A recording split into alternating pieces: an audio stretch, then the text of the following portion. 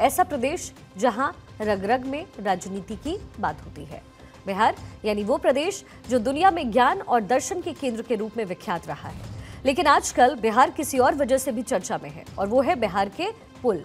क्योंकि बिहार गिरते ढहते पुलों का प्रदेश अब बनता जा रहा है। ना जाने क्यों, एक के बाद एक पुल ढह रहे हैं, और पुल गिरने का ये जो सिलसिला है, थमने का नाम नहीं ले रहा।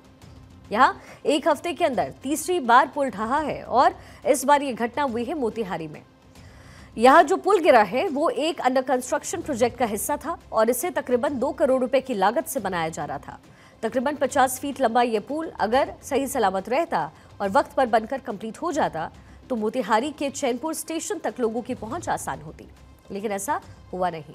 क्योंकि अब ये पुल वर्तमान का दर्शन करने से पहले ही भूतपूर्व हो चुका है। लेकिन ये सिर्फ़ इकलौता मामला नहीं है। इससे पहले 18 जून को बिहार के अररिया और 22 जून को सिवान में भी पुल ढह चुके हैं और उनकी तस्वीरें आपकी स्क्रीन पर है। सिवान की तस्वीरें तो खासकर हैरान करती हैं क्योंकि यहाँ जो पुल बना, वो बिना बारिश या तूफ़ान के ही ताश के पत्तों की तरह ढेर हो गया। हालाँकि प्रशासन ने इसे इसको लेकर के तर्क दिया कि जिस नहर पर पुल बना था, उसमें अचानक ज़्यादा पानी छोड़ दिया गया और पुल उसे बर्दाश्त नहीं कर पाया। लिहाजा वो ढह गया। इससे पहले मंगलवार को अररिया में भी 180 मीटर लंबा पुल धड़ाम से गिर गया और इसी के साथ सरकार के तकरीबन 12 करोड़ रुपए भी पानी में डूब गए। लेकिन बिहार में पुलों के ढहने या बह जाने का ये कोई पहला मामला नहीं है। ऐसी कई नज़ीर है जो बताती है कि बिहार के पुल चाइनीज़ सामान की तरह होते जा रहे हैं।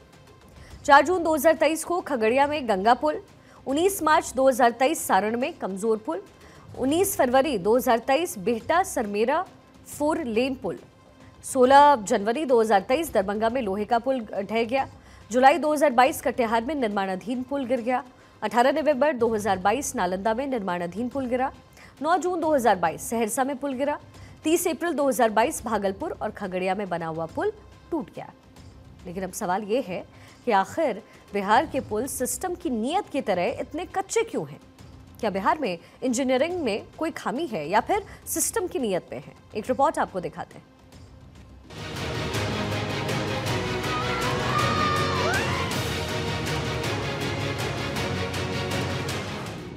जरा सोचिए किसी पुल को बनाने में कितना वक्त, कितनी मेहनत और आम जनता यानी कि आपका कितना पैसा लगता है।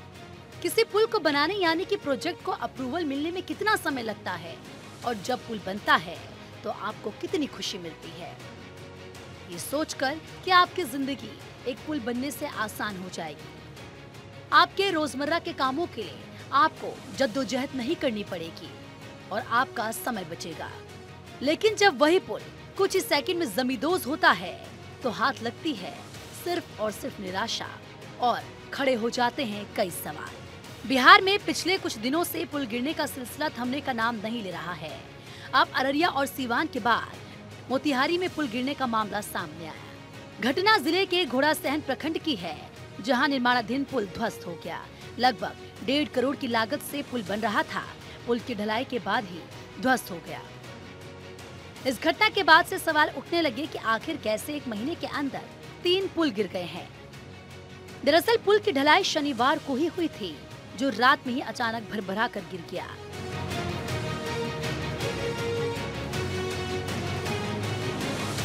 इसके पहले शनिवार को सीवान जिला के महाराजगंज अनुमंडल के पटेड़ा और गरौली गाँव के बीच का पुल अचानक टूट गया, जिससे दोनों गाँव का आवागमन पूरी तरह से ठप हो गया। इस पुल के टूटने से इलाके के लोग काफ़ी परेशान हो गए, क्योंकि ये पुल दोनों गाँव के बीच का मुख्य संपर्क साधन था। ग्रामीणों का कहना है कि गंडक विभाग ने नहर की सफ़ाई कराई और नहर की मिट्टी काटकर नहर के बाँध पर फेंकी गई थी, जिस वजह से पुल का पिलर काफ़ी कमज़ोर हो गया था और पुल टूट गया। ग्रामीणों ने ये भी आरोप लगाया कि नहर की सफ़ाई के दौरान विभाग ने सुरक्षा मानकों का पालन नहीं किया। पुल के पिलर पर अतिरिक्त भार पड़ गया और ये हादसा हो गया। बात अररिया की करें तो यहाँ पर भी 18 जून को एक पुल गिर गया था। बकरा नदी पर बन रहे पुल का तीन पाया अचानक से गिर गया। करीब 12 करोड़ की लागत से बन रहे पुल के गिर जाने के बाद स्थानीय विधायक ने काम में अनियमितता का आरोप लगाया। उन्होंने पूरे मामले में भ्रष्टाचार के आरोप भी लगाए। तो वहीं अररिया में निर्माणाधीन पुल गिरने से स्थानीय लोगों में काफ़ी आक्रोश है।